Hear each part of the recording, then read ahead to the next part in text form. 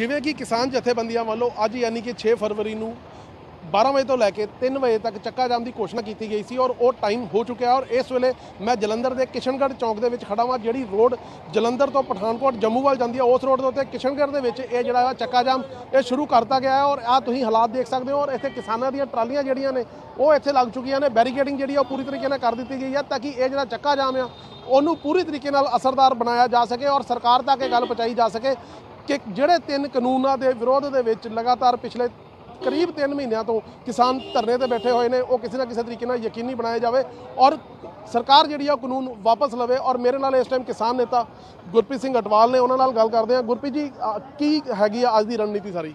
ਦੇਖੋ, ਅੱਜ ਦੀ ਜਿਹੜੀ ਰਣਨੀਤੀ ਹੈ, ਮੋਦੀ ਦੀ ਸੈਂਟਰ ਸਰਕਾਰ ਆ, ਉਹ ਬਹੁਤ ਹੀ ਤਾਨਾਸ਼ਾਹ ਰਵਨੀਆ ਅਪਣਾ ਰਹੀ ਆ। ਕਿਸਾਨਾਂ ਤੋਂ ਇਦਾਂ ਸਮਝ ਰਹੀ ਹੈ ਕਿ ਜਿੱਦਾਂ ਅਸੀਂ ਭਾਰਤ ਦੇ ਵਸਨੀਕ ਹੀ ਨਹੀਂ ਹੁੰਦੇ। ਤੁਸੀਂ ਲਾ ਲਓ ਵੀ ਇੰਨੀਆਂ ਦਾ ਚਾਈਨਾ ਜਾਂ ਪਾਕਿਸਤਾਨ ਦੇ ਵਿਰੁੱਧ ਵੀ ਤਾਰਾਂ ਨਹੀਂ ਲੱਗੀਆਂ ਹੋਈਆਂ ਬਾਰਡਰਾਂ ਦੇ, ਜਿੰਨੀਆਂ ਇਹਨਾਂ ਨੇ ਸਿੰਘੂ ਤੇ, ਠਿਕਰੀ ਤੇ ਜਾਂ ਗਾਜੀਪੁਰ ਲਾ ਦਿੱਤੀਆਂ ਨੇ। ਉਹਦੇ ਵਿੱਚ ਰੋਸ ਪ੍ਰਦਰਸ਼ਨ ਕਰਦੇ ਹੋਏ ਕਿ ਅਸੀਂ ਭਾਰਤ ਦੇ ਵਸਨੀਕ ਆ, ਅਸੀਂ ਆਪਣੀ ਮੰਗਾਂ ਲਈ ਉੱਥੇ ਗਏ ਆ, ਨਾ ਕਿ ਅਸੀਂ ਉਹਨਾਂ ਨਾਲ ਕੋਈ ਲੜਾਈ ਝਗੜਾ ਕਰਨ ਗਏ ਆ। ਉਹਨਾਂ ਨੇ ਤਾਂ ਇਦਾਂ ਦੇ ਬੈਰੀਕੇਡ ਲਾਤੇ ਕਿ ਅਸੀਂ ਦੇਸ਼ ਦੇ ਵਸਨੀਕ ਹੀ ਨਹੀਂ ਸਾਨੂੰ ਉਥੋਂ ਕੱਢ ਉਹਦੇ ਰੋਸ ਦੇ ਵਿੱਚ ਅੱਜ ਅਸੀਂ ਇੱਥੇ ਜਿਹੜਾ ਧਰਨਾ ਪ੍ਰਦਰਸ਼ਨ ਆ, ਉਹ ਕਰ ਰਹੇ ਆ ਕਿ ਜੋ ਉਹਨਾਂ ਨੇ ਬੈਰੀਕੇਡ ਲਾਏ ਉਹ ਤੋੜੋ, ਕਿਉਂਕਿ ਦਿੱਲੀ ਇਕੱਲੇ ਮੋਦੀ ਦੀ ਨਹੀਂ ਕਿ ਸਾਡੀ ਸਾਰਿਆਂ ਦੀ ਸਾਂਝੀ ਆ, ਸਾਡੀ ਤ- ਰਾਜਧਾਨੀ ਆ। ਅਸੀਂ ਇੰਡੀਆ ਦੇ ਵਸਨੀਕ ਆ, ਤਿਰੰਗਾ ਸਾਰਿਆਂ ਦਾ ਸਾਂਝਾ ਆ। ਇਸ ਕਰਕੇ ਅਸੀਂ ਇਹ ਰੋਸ ਪ੍ਰਦਰਸ਼ਨ ਕਰਦੇ ਆ ਤੇ ਜਿਹੜੀ ਸੰਗਤ ਆ, ਅਸੀਂ ਉਹਨਾਂ ਨੂੰ ਵੀ ਬੇਨਤੀ ਕਰਦੇ ਵੀ ਸਾਡਾ ਸਾਥ ਦਿਓ, ਸਾਡਾ ਪਰੇਸ਼ਾਨ ਕਰਨ ਦਾ ਕਿਸੇ ਨੂੰ ਵੀ ਮਕਸਦ ਨਹੀਂ। ਪਰ ਜਿਹੜੇ ਇਹ ਬਿੱਲ ਆ, ਜਿਹੜਾ ਤੀਜਾ ਬਿੱਲ ਆ, ਸੋਧ ਕਾਨੂੰਨ ਜਿਹਨੂੰ ਆਪਾਂ ਕਹਿੰਦੇ ਆ ਸ਼ਾਰਟਕਟ ਦੇ ਵਿੱਚ ਉਹ ਇਹ ਦੁਕਾਨਦਾਰ ਤੇ ਜਿਹੜਾ ਮਜ਼ਦੂਰ ਭਾਈਚਾਰਾ, ਉਹਦੇ ਲਈ ਬਹੁਤ ਹੀ ਘਾਤਕ ਬਿੱਲ ਆ। ਉਹਦੇ ਵਿੱਚ ਜਿਹੜਾ ਇਹਨਾਂ ਨੇ ਵਸਤੂਆਂ ਆ, ਉਹਨਾਂ ਨੂੰ ਕਰਤਾ ਵੀ ਸਾਲ ਤੱਕ ਤੁਸੀਂ ਉਹਨੂੰ ਸਟੋਰੇਜ ਕਰ ਸਕਦੇ।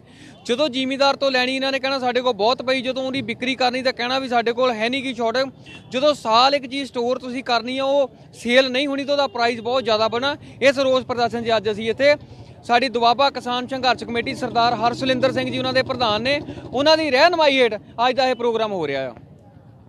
ਹਰਸੁਲਿੰਦਰ ਜੀ ਅੱਜ ਦਾ ਜਿਹੜਾ ਧਰਨਾ ਸ਼ੁਰੂ ਹੋ ਚੁੱਕਿਆ ਹੁਣ ਸੜਕ ਜਾਮ ਹੈ। ਕਿੰਨੇ ਵਜੇ ਤੋਂ ਲੈ ਕੇ ਕਿੰਨੇ ਵਜੇ ਤੱਕ ਇਹ ਪ੍ਰੋਗਰਾਮ ਹੈਗਾ? ਔਰ ਕੀ ਮੰਗਾਂ ਹੋਰ ਹੈਗੀਆਂ ਨੇ? ਔਰ ਇਸ ਧਰਨੇ ਤੋਂ ਬਾਅਦ ਵੀ ਜੇ ਕਿਸਾਨ ਨਹੀਂ ਮੰਨਦੀ ਹੈ ਤੇ ਕੀ ਅਗਲੀ ਰਣਨੀਤੀ ਰਹਿਣ ਵਾਲੀ ਹੈ?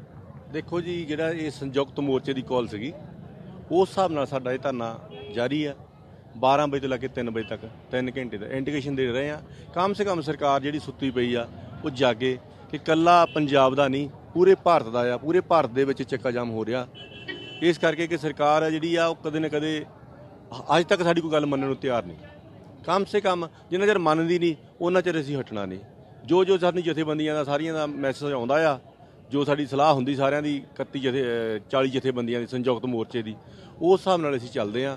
ਇਹ ਸਾਨੂੰ ਇਹੀ ਕਾਲ ਸੀਗੀ ਕਿ ਆਪਾਂ ਅੱਜ ਅਹ, 12 ਤੋਂ 3 ਕਾਲ ਕਰ ਕੀਤੀ ਸੀਗੀ ਵੀ ਆਪਾਂ ਚੱਕਾ ਜਾਮ ਕਰਨਾ। ਉਸ ਹਿਸਾਬ ਨਾਲ ਚੱਕਾ ਜਾਮ ਕਰ ਰਹੇ ਜੀ।